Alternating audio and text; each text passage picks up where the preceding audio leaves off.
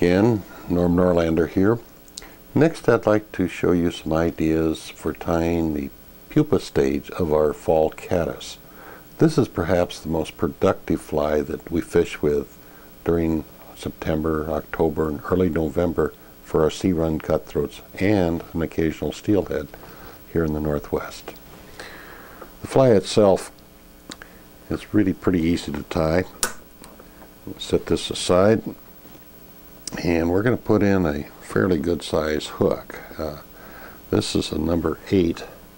It's a curved uh, nymph hook and uh, down eye and we've got a tungsten bead on the end of it. And the materials we use really pretty straightforward. Uh, first the body is going to be uh, composed of two different materials. We're going to use a, a mixture of uh, colors here. This is called golden stone. It's uh, a little bit of sparkle to it. Uh, looks pretty good. And then the front portion of the thing we're going to use uh, some rabbit fur that has a little antron mixed into it. Again gives it a little bit of sparkle and uh, there'll be a collar on this thing right up next to the bead and that's going to be black rabbit fur.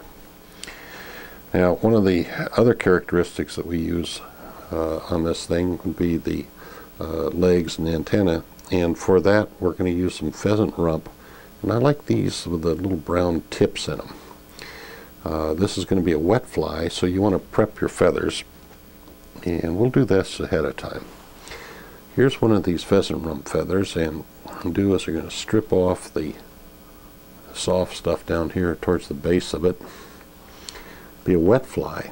So what we'll do is we're going to tie it in by the tip and I'm going to preen back some of these barbs. Now that's about all you're going to have to use there. So works best is you just clip the front off and that's where we're going to tie it in.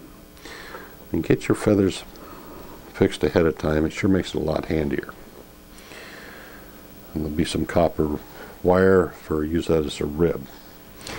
Now let's start out by dressing the hook. I'm using some 6-aught black thread. Start up here at the front of the hook and just pop that off. Bring your bobbin in good and tight. You all the way to the back like this, okay? And he might come forward just a little bit. I'm going to tie in a piece of copper wire here. We use this as our rib go forward a little bit. Okay, just bring that right down to the very back end, like so. And we'll set that aside for right now. So just cut off a few inches so you can grab hold of it. And we'll store that up here in your material holder. That's that little spring. Now the back end of the fly, the abdomen as it were, is going to be composed of this, this is a synthetic dubbing mix here goes on pretty easy. Would just take a little pinch out, like so. Give your vise a spin here, and you see how nice and easy that dubs on there. never have to use wax or loops or spit or nothing. Okay. We'll tighten this up a wee bit. And we'll start here, and then we're going to go work our way to the back. And you can turn this and weave it in and out of the gape of the hook. So you can go Get right down there around the bend of the thing, okay? And bring it forward a bit. And that's probably about where we want to stop. Okay. And you roll in a half hitch. And then the front half of this, the thorax area as it were, we're going to use some darker dubbing, and this is a mixture of rabbit fur with a little antron blended in to give it some sparkle. There you go pick some out of the bag there and again you can see doesn't really matter what kind of dubbing you're using with the Norvise they all go on pretty easy okay and again I'm going to tighten that up a bit and come back to about our midpoint there come forward and you'll build up the thorax region okay and you can secure the thread. You want to do that when you're working in back of a bead so it doesn't slip off. I'm going to use a hemostat, grab hold of my wire right here, and we'll counter wind. In other words, go the opposite direction that we laid in the dubbing. And that'll give a bit of a segmentation effect. Just go right up through the thorax with it, run that extra wire on.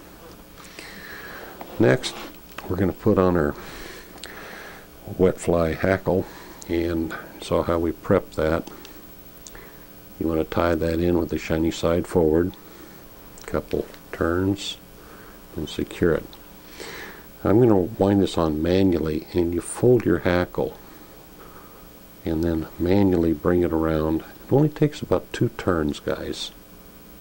Here we fold that back. There we got it. That's looking pretty good. Okay. Now we're going to go over that a couple times. I want that to lay back, so we're going to preen that feather back and then wind right over it. Right up to about there, okay? So that'll slope that backwards pretty good. Now to finish off the thorax and bring it right up to the head of the fly, use a little rabbit fur. Pull some of that out of the bag. A few pinches like that. Just roll it right on the thread like so. Back up here and tighten it up a bit. Run that into place.